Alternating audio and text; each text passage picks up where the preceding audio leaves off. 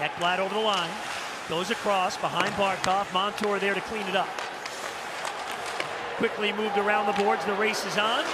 Poehling got there, and look out. Here comes Rust shorthanded with Guentzel. Rust for Guentzel. Score!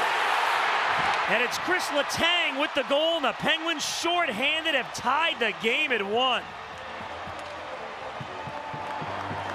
Well, you could just sense in this power play the Panthers full control in the offensive zone, but moving the puck just not quick enough.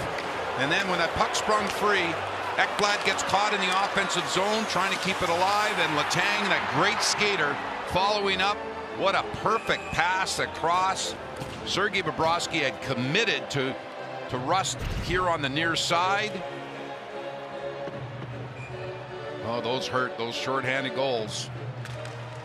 Yeah, killers when you play a team like this that's so hot and